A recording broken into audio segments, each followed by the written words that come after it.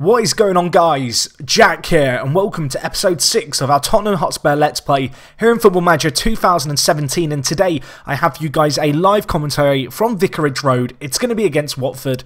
It's not the game that I said I was going to do and uh, well the reason for that being is that this game bizarrely, is a top of the table clash at the top of the Premier League. As you can see here, Watford unbeaten. We hope to end that run today for them. 18 games into the season, of course, this game marks the halfway point. We are currently sat in second place, and uh, well, we have had a fair few games that we've played since the last episode, so let's have a look through them. Six, in fact. So the first game we have here was a disappointing result. We had a collapse against Stoke City. Um, it was a game which didn't get off to the best start really for us.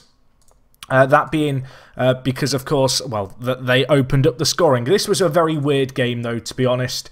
Um, as we go through this game, you'll probably kind of get an idea of that. As you can see, Arnautovic opening up the scoring early on in the first half. And, uh, well, we fought back well. And at this point, when we fought back, I was like, you know, we've got this now. This is the start of the comeback. We're going to go on. We're going to get another goal in this second half. And unfortunately, that simply didn't happen. Uh, so this was the only goal we scored in the game. It was a, a, good goal, ultimately. Harry Kane lashing it in as he has done throughout this season. He has continued with his fine goal-scoring form, I'm pleased to say. And, well, he got another one here. Unfortunately for us, however, that was all that we really had to cheer about in this game. In the 88th minute, uh, Stoke took the lead and they managed to get another goal to close out the game right at the death as we kind of committed men forward, desperately looking for a goal. This one by Imbula, a nice little goal. It was a Charlie Adam banger, however, that really capped off this game. When this went on, uh, when this went in rather, I was in a bit of a stake of shock. It was a, a nice goal, Imbula lays it off to him, I do believe, and then it's just Charlie Adam, sledgehammer, bang, pick that out. Absolutely no chance for Lloris in goal. It finished 3-1. I felt like it was a little bit of a smash and grab by Stoke, but as you'll see as we go through these games, we had a fair share of our luck. And in fact, one of these games which we had a fair share of our luck in was this game against Juventus. We completely FM'd them. We had one shot on target and won 2-1. Um, let's have a look at these highlights. It was a weird game. I rotated the team fairly heavily. Uh, I didn't necessarily... I don't want to say I didn't think we were going to win this game, but I decided to completely rotate the side just to ensure that the league could remain our own focus. And, uh, well, the fact that we won with a fairly rotated side was good. Harry Kane not starting. I'm not sure how that ball trickled in. It was a bit of a, a howler by Buffon, but Onomah was there to kind of capitalise on that opportunity. And, uh, well, we got a second goal just three minutes later in the 76th minute. And, uh, well, they were the only two shots of the game that we had, but they both found their way into the back of the net. And ultimately, that that's what matters. But perhaps looking at some of the players here, you can see players like Carroll, uh, Maia playing Onomah. It was a very rotated side. Obviously, Janssen up top ahead of Harry Kane for this game. So the fact that we won 2-1, a really good performance. We did concede a goal very, very late on from a set piece, which was a little bit disappointing. A clean sheet would have been nice. It was Bonucci with the header there for Juve, but well, we held on and we got an important win there.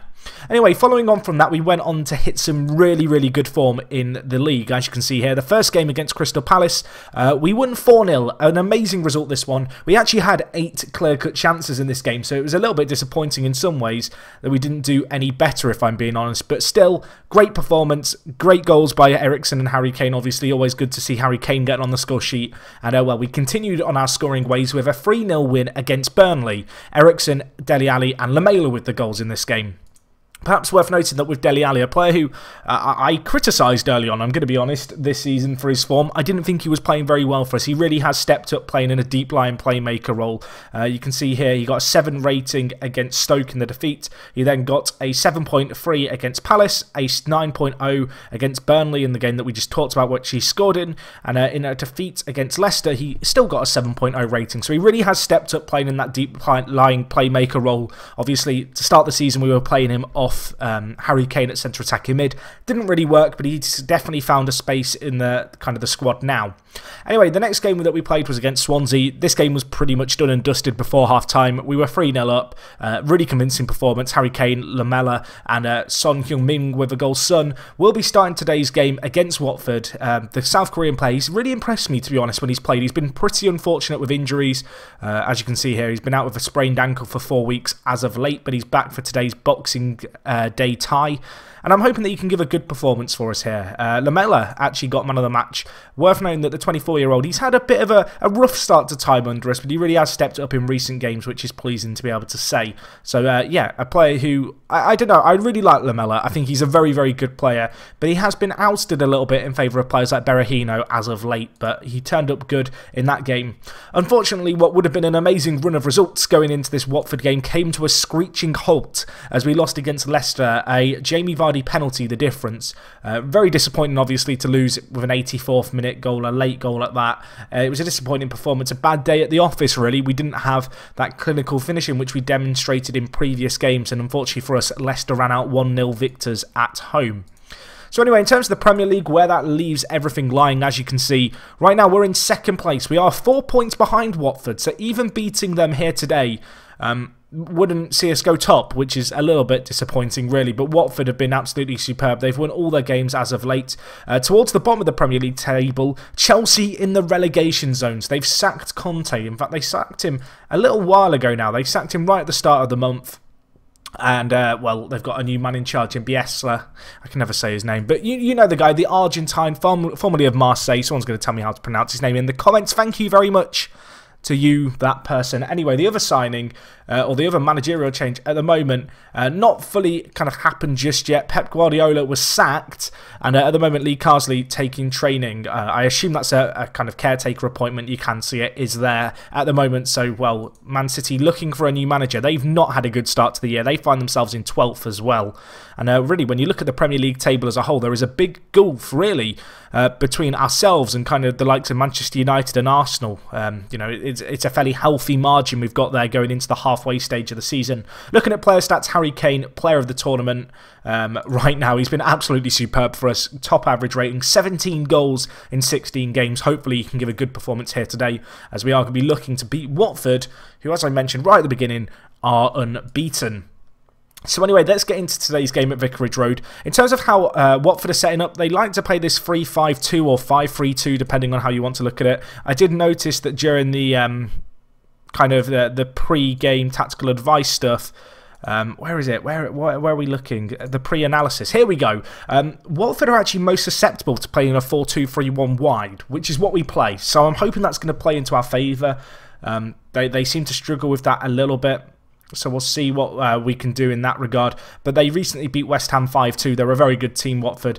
Uh, and if we just have a quick look at their squad, because you're probably wondering who are the players performing well, really it's been Ighalo and Deeney's goals which have made the difference for them. Ighalo, as you can see here, 14 goals in 16 games for him. Troy Deeney, 9 goals in 18. Uh, uh, neither striker's that good, actually. They've just been performing really, really well, which I guess is fair play to them. And uh, when you've got two kind of strikers there scoring 26 goals between them in 18 games, you're going to win a fair few matches, and that's kind of been Watford's uh, key to their success. And hopefully today we can shut them down. So anyway, let's get into today's game. Looking at our squad, um, Berahino currently out injured. A bit of a miss he is today. He's out with a cold, so he's actually back tomorrow. Elsewhere, Janssen out injured again. He's got the flu. So uh, a few of our players suffering from winter blues. Of course, Janssen recently out with a hernia just a few months ago, so thankfully it's not too major an injury. Kyle Walker is out for a while with a sprayed ankle. Uh, he's actually going to be back in about a week or two, which is kind of nice, of course. Danilo right now kind of has the right back position nailed down, and he's been playing fairly well in that role for us since, of course, joining us from Real Madrid this year. Anyway, looking at our team as a whole, obviously Vertonghen and Alderweireld, a lot I expected of them today, uh, going into today's game to try and shut down the uh, kind of Deeney and Ighalo partnership. Um, so that's something to keep an eye out on. Obviously, I mentioned Dele Alli coming into great form at the moment in this kind of deep line playmaker role uh, in the midfield. It's a, a, role that he's been doing very, very well as of late. He's adapted um, to this new system. The new centre mid partnership has definitely worked better, I think it's fair to say. You kind of look at uh, our games as of late, uh, really since the Arsenal game with the exception of the Stoke defeat, we've been fairly good defensively. Um, when you, can, especially when you kind of consider that to our form before, where we were leaking goals quite severely for a little while. So either way, let's submit our team for today's game, hoping that Harry Kane can bang some in for us. But we have got options on the bench. It's a little bit of a miss having Berahino because he's the kind of striker that I'd like to have to be able to bring on in this kind of situation. Uh, but we have got Correa, uh, Dembele, Sissoko, Thiago Maia, Ben Davies and Wimmer on the pitch. So there are options there. So anyway, let's see how we get on. Actually, they've got a few players carrying injuries. Pereyra, the uh, Argentine, a very, very talented player. Uh, he's not actually got an injury. He's just struggling for fitness. So I guess he's coming back from an injury. Yeah, he twisted his knee. Would that have, that that probably wouldn't have been it actually? So I wonder what he's injured with. Potential for injury. Oh, interesting. Okay, so it's probably not been publicly disclosed. And the same for Janmaat. I assume they um, are risking those players today. They've got Ighalo and Deeney starting up top, but as I said right at the beginning, they're susceptible to play in the system that we play. Of course, they are a London rivals of sorts, Watford, and this is a massive game for us. It's not a game that I necessarily thought I'd be live coming with so much significance on it, but for us, this would close the gap on them uh, to one point. Of course, if we lose this, we'll be seven points adrift of Watford, who will be leading the table at the halfway point. Anyway, let's get into 2D Classic and make sure we have um, the key camera on.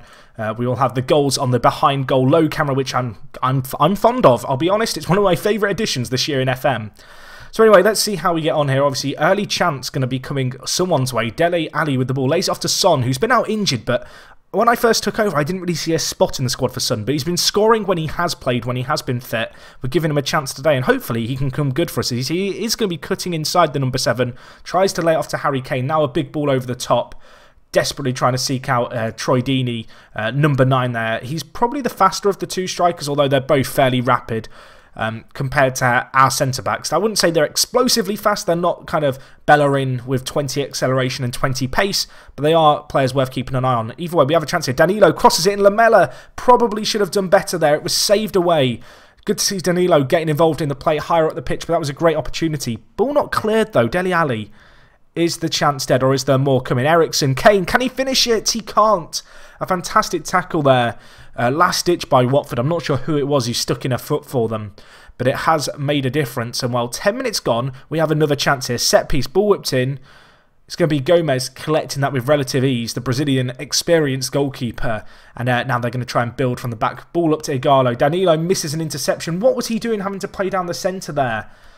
What the hell? I don't understand for some reason, Alderweireld was out at right back for us there as we transitioned into defence. I guess that was just a case of players filling in positions. Unfortunately for us, that sees Ighalo go through, add to his goal tally. We knew he was going to be a threat in this game, and he just smashed it home. Lloris very slow to react. But, um, well, it was a good finish by the Nigerian forward there. And, uh, well, with Watford's first strike of the game, they strike first in this game, and perhaps we're going to be kicking ourselves uh, with Lamela missing that very, very early opportunity for us uh, right at the start of the game. That was a, a turning point, perhaps. Anyways, this game continues to develop on. We're continuing to boss possession and continuing to have shots. However, Watford a team very much capable of playing on the counter. And, uh, well, they've already shown that once. We are going to have to be wary of that as this game progresses here. But no, 30 minutes gone now. Still not a lot of chances either way. Looking at our team, it's been pretty disappointing by everyone. No one really having a standout performance so far. Eric Dier and Vertonghen on bookings as well it is a little bit concerning. We do have the ball here though, a set piece thrown straight to Janmaat, but only gets cleared as far as Rose. Now with Dele Alli, options in the middle, cuts inside, lays off to Lamela. Was that a foul? It was. Craig Cathcart clatters into the back of him commits the foul, and we are now going to have a penalty opportunity, perhaps. I believe it will be Harry Kane on it for us. In fact, it's not going to be. It's going to be Vertonghen. Have I not got my penalty takers set up? Let's hope Jan Vertonghen does the business for us. I thought I had my penalty takers set up. Vertonghen, please bury this. On his left peg, he slots it in, no pressure. Is he any good at penalties? Oh, he is quite good at... Okay, that makes sense. I probably just ticked him without registering in my mind that he has uh, 13 penalties and 18 composure. Either way, he slots it home. Gomez did go the right way, but the booked centre back gets the goal for us, and well, it's a good goal by the Belgium. Oh, I love the little dancing there by Gomes. If you missed that, go back and watch it. He did, he did the little kind of Jerzy Dudek jiggle and getting uh, flashbacks to Istanbul. Anyway, let's see what we can do here. Ball whipped and Deeney. An absolute sitter. He has to score that for Watford. Two yards out, blasts it over the bar. And while going into half time, both teams have had chances. Watford have actually had more as the game's progressed.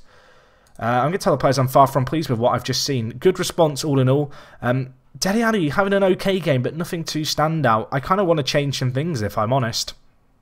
And I think the change I might make maybe to take off Lamela. You know, you know what? I'm gonna I'm gonna give it 15 minutes. I'm gonna give 15 minutes just to see how this second half settles down before I do anything too rash. But there's no one really standing out as playing kind of particularly poorly for us, but there's no one kind of taking the game by the scruff of the neck at the moment. And that's what we're hoping to see, perhaps a little bit more uh, in this second half. Of course, we have got to be wary of the Deeney Ighalo partnership. Um, that it's we've already been punished by it once. I know, well, but wow, that was a, a, a rash tackle by Behrami. Gets a booking for it as well, 40 seconds in. Um, I hope that's nothing too major. Deeney's picked up a knock as well. Maybe they'll have to sub him off. One can dream. He stays on the pitch. It's nothing major. That's a shame. I don't like to wish injuries upon people, but in this kind of game, I'm a fan of the dark arts. You know, if it, if it means getting the win, I'm all for it. Either way, we're the team in possession here. Son, options on the overlap. Danilo's there. He's going to go alone. Can he whip the ball in? He can. Harry Kane, back post, nods it in. Take a bow, my son. His 23rd goal of the season. And a, a, really nice assist by Son as well. You know, a player who perhaps I would have taken off at half time. But three minutes into the second half, a much better response here. Son, what a ball that is in. Harry Kane nods it. And, well, Gomis, no chance. Or not Gomis, Gomez. I called him Gomis earlier as well. It's Gomez. Gomis is, is a French striker, Jack. Send help. Let's see how we can get on as this game progresses now. Where the hell did Gomis come from? Apparently, I love Gomis and I don't even know it. Answers on a postcard. Right, 25 minutes left. I should probably make some changes at this point. Eric Dier's on a booking and struggling a little bit. I'm going to bring in Thiago Maia for him. So I'll make a change there. Higher up the pitch, Lamela has been pretty poor. Eriksen's not had a great game either. Uh, but I think it's going to be Lamela we take off and uh, in his favor, uh, in his place. I think we're going to bring on Moussa Dembele and give him a run out. A player who I do like Moussa Dembele, but I've not actually used him that much this year. I feel like the centre mid positions have been fairly nailed down as the season's gone on. And, uh, well, in the attacking midfielder department, I feel like we just have a few players who are slightly better than him, but he'll have a chance here to prove himself as we are bringing the ball forward. Harry Kane hits it straight at Gomez, who makes the stop. And, uh, well, that was a good opportunity uh, to get our noses a little bit further ahead. Obviously, we know that this Watford team has firepower. We know they can score. And, um, well, we need to take opportunities because we cannot take this one goal lead for granted. Worth noting that they are now playing with Isaac Success, Ighalo, and I believe Deeney all on the pitch at once. Deeney missing another sitter for them. How are they shaping up? Because that's three strikers. Okay, they're playing a 3-4-3. I'm going to change things a little bit, kind of just reacting to that, actually.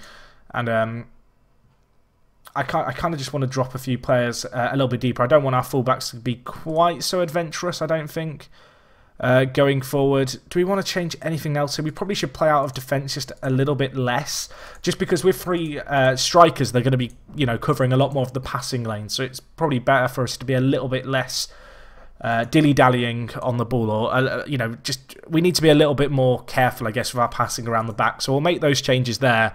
The Isaac Success, Deeney and Ighalo partnership, it's a little bit scary, but they're playing free at the back now, so I think there might be opportunities to capitalise, you know, on chances there.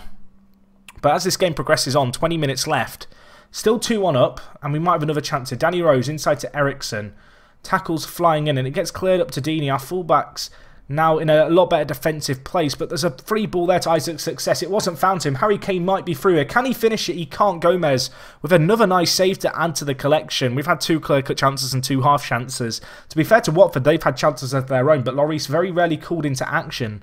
A lot of sitters kind of blasted over the crossbar for them, but well, it remains 2-1, but we remain with a, highlight here and remain with an opportunity. Danilo, options in the middle, whips it in. No one really there, but Eriksen latches onto it. Dembele's there. The sub has an impact and scores. He makes it 3-1. He's not scored many game, uh, not played many games this year. He's got his first goal of the season as well now.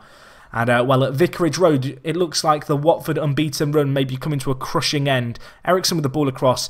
Dembele with a nice little volley on his left peg, to be honest, and with 18 minutes left things are looking a lot, lot better for us. Obviously, Watford committing men forward. We've capitalised on that. We've, you know, we've we've made our defence just a little bit more solid, and we've looked to exploit them higher up the pitch. Though chance here, and well, let's not count our chickens before they hatch, because there may well be an opportunity here. Um, for Watford to kind of get back into this game. I'm going to make a few changes um, just to hopefully see out this game we're going to uh, just, you know, switch to counter, play a 4-1-2-3, and hopefully we can just see out the remainder of this game on a counter-attacking system. That's the plan now. Two minutes left, and, uh, well, it looks like it should be game over. Throw in here, the way it is game over. It finishes 3-2 at Vicarage Road. We get what could prove to be a very, very important win as far as the title race is concerned. With that win, we go four points clear of the likes of Southampton and Sunderland, who have a game in hand. There's also Liverpool, West Brom, and United, and a few other teams who are going to be, you know, eagerly trying to close the gap on us in their games coming up this weekend. We'll quickly have a continue to just see how their games get on because this was another lunchtime kickoff. Just one thing uh, that I should make you guys aware of is I have a weird little bug in my game at the moment whereby uh, the board offered me a new contract. I rejected it and then I asked the board to um, extend my contract, you know, using the board request feature rather than them approaching me. They said, yeah, you know what, you deserve a new contract, we'll approach you about it. Now, every day they come to me and offer me a new contract, and every day the game automatically declines the, uh, the the interview and like the new contract for me. So at the moment, the board are coming to me every day, desperately hoping that I'll stay at Tottenham for another season. I've been assured that um, if you know, I get to the end of my contract at the end of the season, that the club will just put me on a ro rolling month long kind of contract. If we do get to a situation, however, where my contract expires and the club want to sack me, um, given the fact that it's a bug that's preventing me from signing a new contract with Tottenham, uh, I will probably be forced to just add a new manager in charge of Spurs, which would be a little bit annoying. And to be honest, I'm hoping that either a workaround comes up for this issue, uh, or in fact, the, you know, uh, there's a hot fix which fixes this issue because it is kind of a little bit of a problem for me. But it's of course worth remembering this game is in a beta, and uh, as with my issue here, I recommend if you do have any problems of your own in the FM17 beta, you log them on the forums so that they can be addressed for the full game, as the case will be with this bug now. So anyway guys, that is going to wrap up this episode from me. Thank you so much for watching as always. Hopefully you enjoyed today's game. A big result for us. It sees us close the gap on our title rivals in Watford. Hopefully the likes of Southampton and Sunderland can start slipping up too. And uh, yeah, I will be joining you guys next time. We do have a Champions League game against uh, Lyon, or Lyon, it's Lyon, coming up. Um, that's in a little while. We may well do a game in between then and now. There's a game against Sunderland that looks particularly appetising. Let me know if you'd like to see that down in the comments. Uh, if you've got any thoughts, of course, on this save, any comments with regards to my tactics, any questions you just want to ask about the game, feel free to leave them down below. And other than that, thank you so much for watching as always, guys. It is me, Jack, and I will talk to you guys in a bit. I'm out.